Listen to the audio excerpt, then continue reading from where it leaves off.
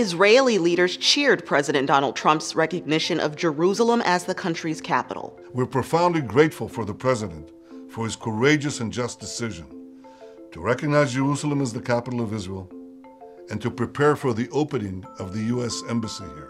Haaretz reported Tuesday that White House officials asked Israeli ministers not to talk about the issue, which has drawn ire from Palestinian, Arab, and European leaders. Israeli politicians struck up a chorus of praise, calling it the right thing to do, saying this is a historic day for Israel, and claiming the move reflects the president's commitment to an ancient but enduring truth. Netanyahu said Trump's decision was a key step in peace talks with the Palestinians because Israel would not accept any peace agreement that doesn't include Jerusalem as the capital of Israel.